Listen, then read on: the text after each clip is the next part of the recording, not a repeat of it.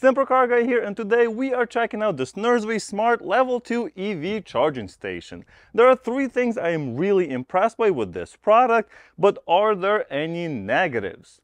Let's see what comes in the box, get this installed, set up, connected to the app, and find out. First, I was impressed with how well it was packaged and the quality of the parts used here. In the box, we get the cable holder, some screws, as well as a little security screwdriver for mounting the device, a quick start guide, an installation template, an RFID card, a nicely laid out manual with specifications and instructions on how to install the charger, and finally the charging station itself. We get 26 feet of cable, which is really good to see as you will be able to reach the charging port on your car no matter where you park. The charging plug feels nice in the hand and does not have any sharp edges or anything of that nature. The NEMA 1450 plug is molded around the cable and feels well made as well. While the input cable is 8 gauge, the charging cable is 10 gauge, but that should be plenty for 32 amps. As far as the unit itself, it's very orange, but I think that's what makes it so cool. Of course, you can get other colors if you like to match your style, but I really do like this orange. Going around the unit, we have a physical power button on the side, a wall bracket that's secured in place with a security screw, as well as what looks like a communication port at the bottom. I can also say that it won't look out of place in a very nice upscale garage. This charging station could be used as is, but it's definitely designed to be mounted on the wall. Luckily they include a simple template so installing this couldn't be easier. It took me less than 10 minutes. You want to install it close to the NEMA 1450 receptacle, but other than that it's just drilling a few holes, pushing in the anchors and screwing in the bracket. Then the unit can be hung in place and you're basically done. You can install the security screw on the bottom if you install this outside or in a common area so that it cannot be easily removed. The reason it can't be installed in common areas and in apartment buildings is because it's actually UL listed. I am very impressed that it actually is UL listed and compliant with the UL 2594 standards. That means it meets or exceeds strict safety regulations. Anyway, now we just have to plug it in. I also wanted to quickly touch base on how to add the Nurzviy charging station to the app. The process is super simple. Download and install the app, allow it to use Bluetooth on your phone, and within seconds, it automatically discovers the device. Then just provide your Wi-Fi password and in a few seconds, it's basically added to the app and you're done. Once you plug this charging station into NEMA 1450 plug, you're basically presented with this screen and it's pretty quick to turn on. Uh, obviously, you're not going to be turning it on or off very often, if at all, but if that's a thing for you, then yes, it turns on pretty quick. We are presented with this awesome screen, so that looks really nice. It is not a touch screen, so you cannot modify anything from here. You do have uh, the power button on the right side and the bottom over there, but that's basically it. We also have this RFID feature here, which is an amazing feature and one of my favorites on this device. Why? Well, because you can use one of these cards or you can even just configure your phone to where it only allows charging when this is presented or if your phone is allowing it to charge. Why is that important? Well, if you park in a common area, so parking garage or if you park, let's say, uh, next to your townhouse and your neighbor can park right next door, uh, you wouldn't want somebody else to come in and charge their car for free, right? Uh, well, unless they're your friends or something like that. But you would want to protect your charging station. So this will basically allow you to lock the system out and not allow anyone to charge that's not authorized. As you saw, setting up the app was super simple, and that's because they're using this Smart Life app. So I think it's common for a lot of products, at least as far as I understand. But yeah, you add your device and then you can go in here and then you have the status, you have your, so you can see you can charge for free, but you can change these settings. So you can just swipe to start charging. Obviously, nothing's plugged into the device right now, so it's not going to start anything, but we will test that in just a minute. I'm going to plug it into my BMW i3. We also have the charging mode uh, selection, so we can go from real-time charging to fixed-time charges, so we can uh, specify the time and date where we want to charge or the time of the day where you want to charge. You can also look at the load, so you can limit the load in your house. So if you want to limit it to 6 amps, you can do that. And then the charging limit for this device is 32 amps. They also have the 48 amp version, so you can get that one as well. And one of the coolest ones for me is the records.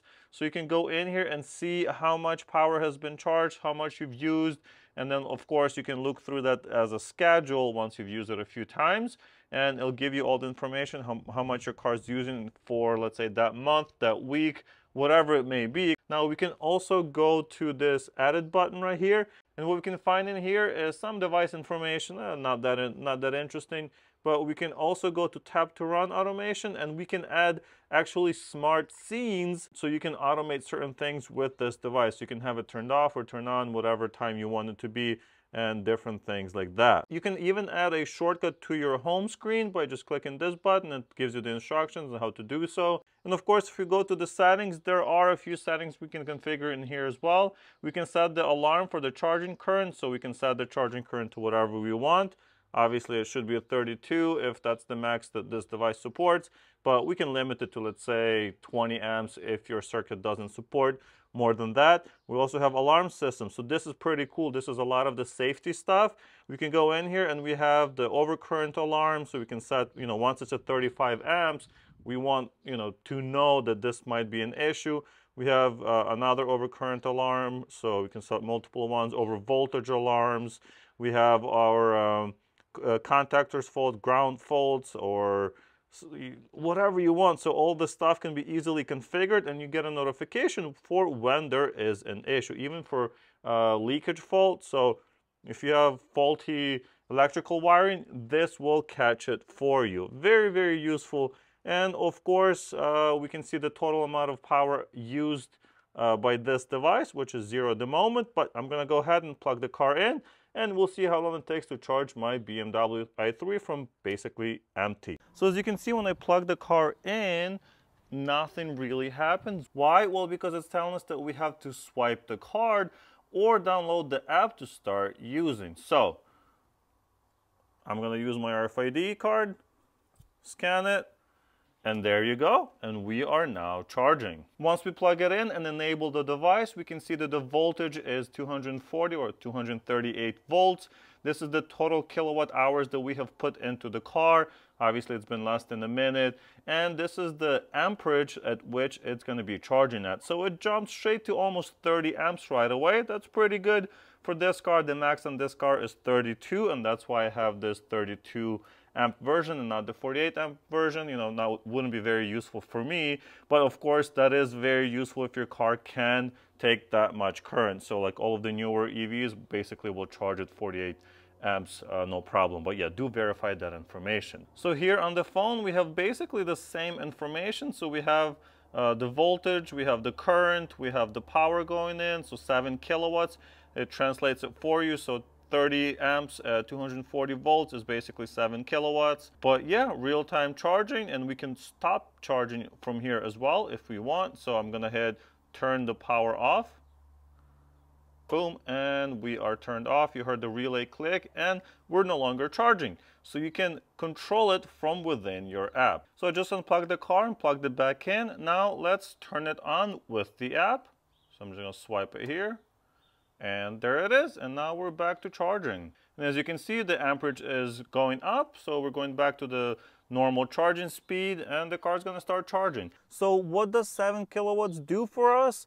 Well, basically it's 5 p.m. at the moment and we're going to be done charging at 9. So in four hours, we're gonna go from, let's see, from 18% to 100%.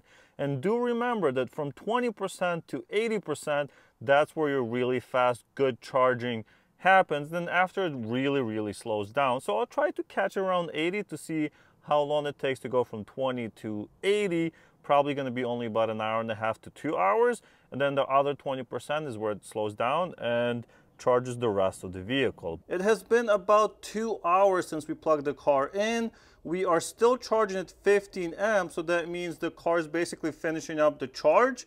Uh, that's kind of how the charging curve on the BMW i3 works. Once it's at the higher level of charge, it slows down uh, how much amperage it can put into the battery, but we can also see that we have put 14.2 kilowatt hours into the battery. So it's been almost two hours and our charge is now at 85%. So we've basically gone through the entire fast charging phase of this vehicle's charging curve and the last 15% is going to take two hours. But you can see how fast you can charge the majority of the battery. So if your car has a much bigger battery, let's say 70 kilowatts, you can charge those 50 kilowatts, so from 20% or from 10% to 80 or 90%, depending on the car. That's going to go really, really fast, and you can charge that very quickly uh, using this charger. Of course, we're charging at 7 kilowatts per hour, so you can do the math very easily. At least on this vehicle that's what it's charging at. It can go up to 7.7 kilowatts if your car can accept that. Overall i have been quite impressed with this unit but are there any negatives? The only negative i can think of is that it must be configured through the phone and there are no physical buttons on this unit other than the power button on the side here. So if you set it up to work on rfid cards only or the app and don't have either of those with you, you won't be able to start charging. Luckily, you would still be able to plug in your charger into the car and then once you get in the house, you can enable it through the phone remotely. You can also just use your RFID card just like that and now we are charging.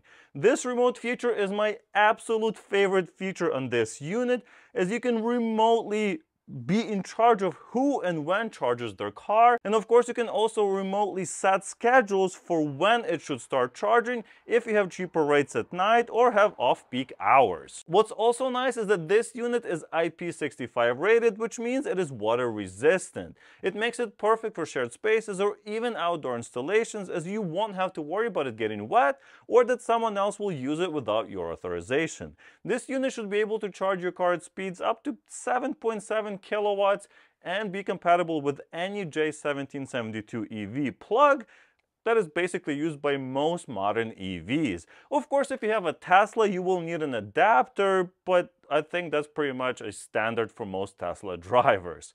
For me though, I like the modern design with the easy to read display, level 2 charging, 26 feet of cable, built-in safety features such as the overcurrent and the over uh, voltage protection, and of course there's smart features where I can review charging history right on my phone. I would also really like for you to check out this video where I tell you about 10 things you didn't know about this BMW i3. Thank you so much for watching and I'll see you in the next one.